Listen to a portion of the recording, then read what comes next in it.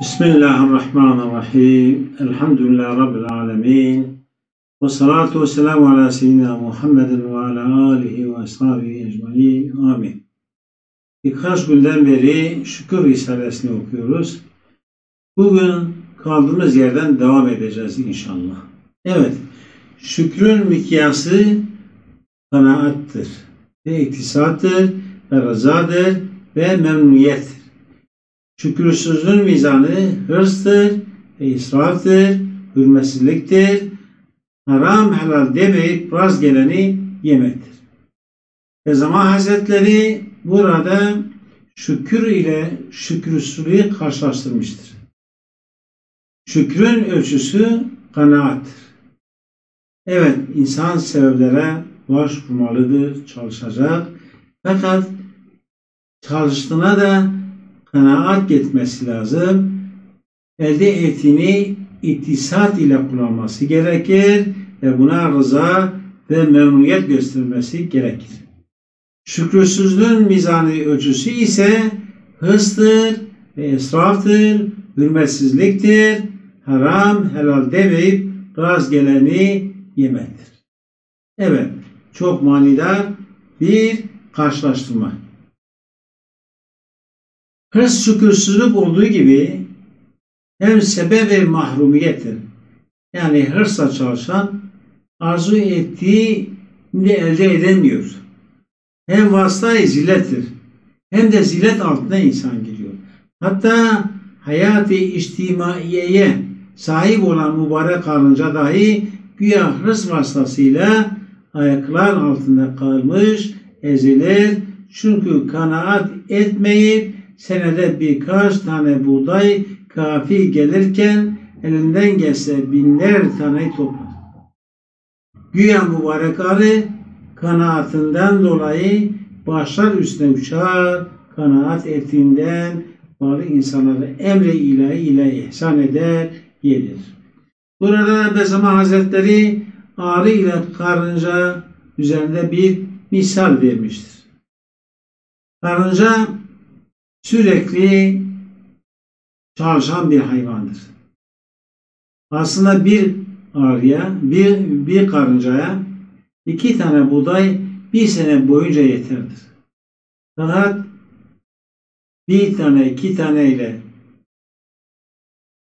razı olmuyor, binlerce buğday tanesini topluyor, bu arada da ayaklar altında ezilip ölüyor.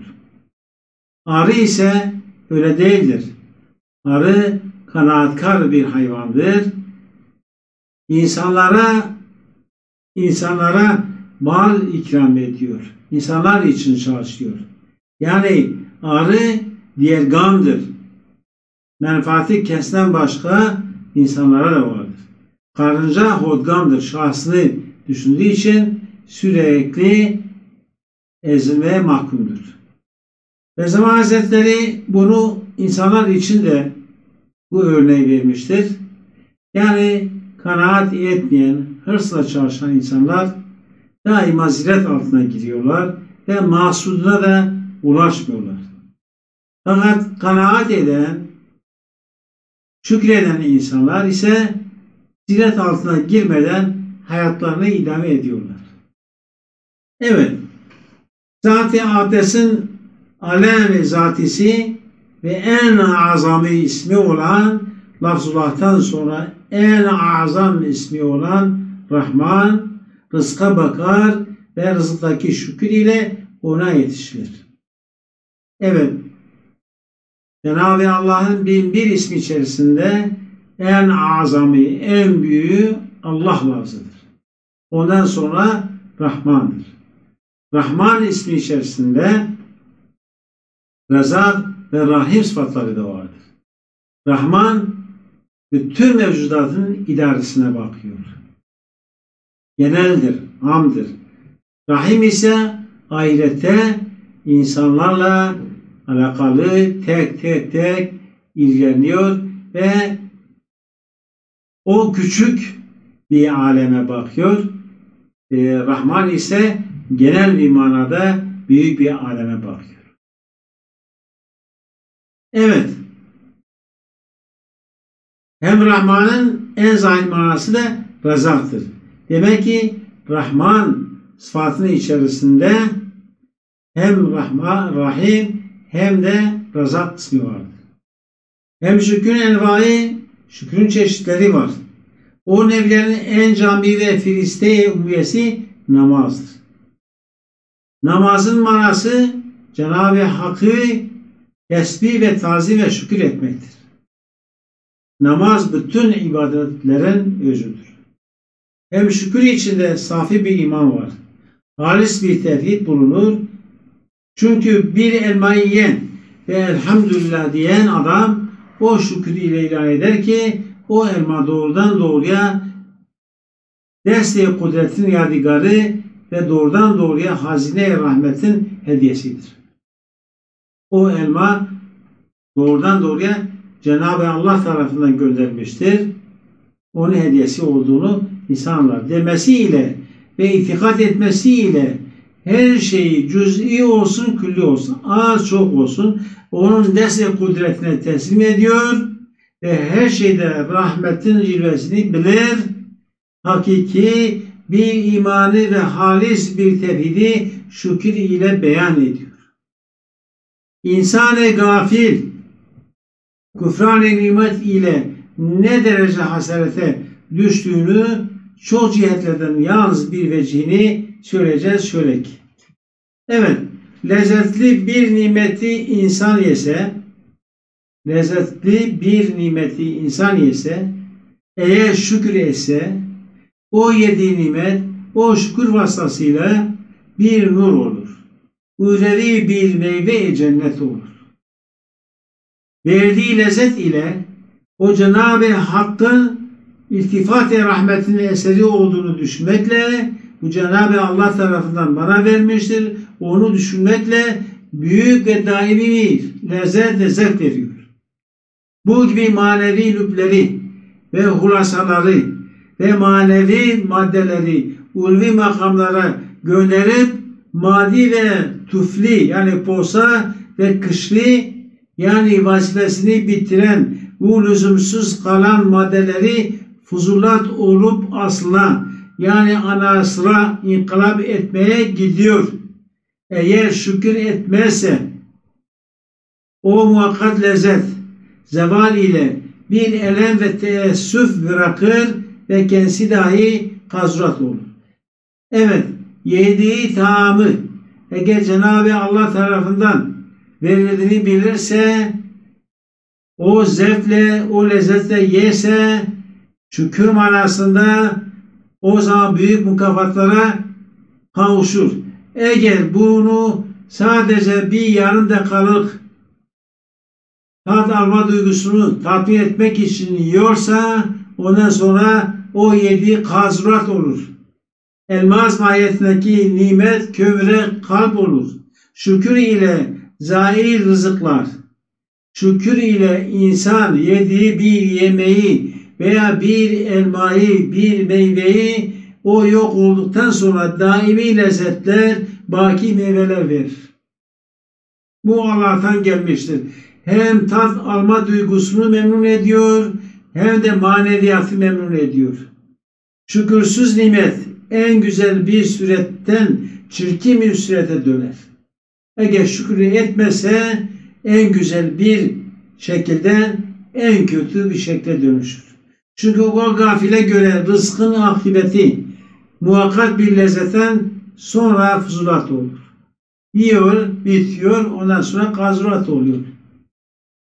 Evet, rızkın aşka layık bir sureti var. O da şükür ile o suret görünür.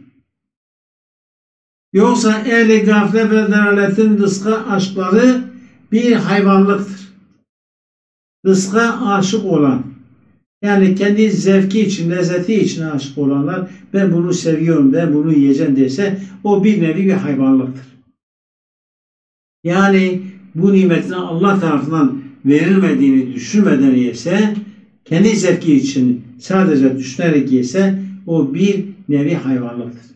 Daha buna göre kıyas et ki ehli dalalet ve gaflet ne derece hasaret ediyorlar. Enva-i zihayat içinde bütün zihayatların içerisinde en ziyade rızkın envana muhtaç insandır. Evet, demek ki zihayatların içerisinde çeşit çeşit rızkın envaine muhtaç olan insandır. Cenab-ı Hak insanı bütün esmasına cami bir ayna ve bütün rahmetin hazinelerinin müdaharatını tartacak, tanıyacak, cihazata malik bir mucize kudret ve bütün esmasının, bütün isimlerin, cilvelerinin, vaziyetlerinin inceliklerini mizana çekecek aletleri havi bir halife arz suretinde Cenab-ı Allah insanı halk etmiştir. Evet, Cenab-ı Allah insanlara rızkın bütün çeşitlerini ikram etmiştir. Ve insanı yer üzerinde ne yapmış? Halife arz yapmıştır. En büyük makam, en büyük mevki insana vermiştir. Onun için hassız bir ihtiyaç da vermiş insanlara. Bütün o lezzetlerin tadına bakmak için bir ihtiyaç duygusu da vermiştir. Maddi ve manevi rızkın hasıl envana muhtaç etmiştir. Maddi ve manevi ne kadar hasız rızkların çeşitleri varsa insanı muhtaç etmiştir. İnsanı bu camiyete göre en ala bir mevki olan ahsen-i takvime çıkarmak vasıtası şükürdür. İnsanı en büyük, yüksek makamlara çıkaran da şükürdür. Ahsen-i takvime çıkaran nedir? Şükürdür. Şükür olmazsa esfel-i safiline düşer. Şükürsüzlük insanı en aşağı mertebelere düşürür. Bir zulm-i azmi itikab eder. En hasıl, en ala ve en yüksek tarih yol olan Tarık-ı Ebudiyet yani kulluk yolu ve mahbubiyetin sevginin dört esasından en büyük esası şükürdür ki o dört esas şöyle tabir etmiş. Der Tarık-ı Azmedi lazım Ahmet Çarçiz Azem mutlak, fakre mutlak, şefke mutlak, şükre mutlak, ey aziz.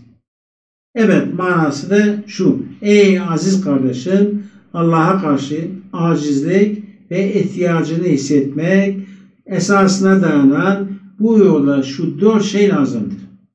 Demek ki acizlik esasına dayanan dört tane madde burada sıralamış. Bir, mutlak az, mutlak fakir, mutlak şefk, mutlak şükür. Yani insan mutlak bir aziyet içerisinde olduğunu bilmeli. İnsan hiçbir organı yapamıyor. Hiçbir ihtiyacını karşılayamıyor. Fakat her şeyde insan insanın ihtiyacı vardır. İnsan fakirdir. Hepsine de ihtiyacı vardır. Ve mutlak şevk ve mutlak şükür içinde olması gerek.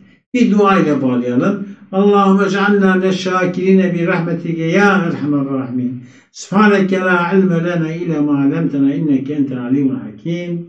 Allahümme salli ve sellem اللهم صل وسلم على سيدنا محمد سيد الشاكرين والحامدين وعلى آله وصحبه أجمعين آمين وآخر دعواهم أن الحمد rabbil alemin. El Fatiha.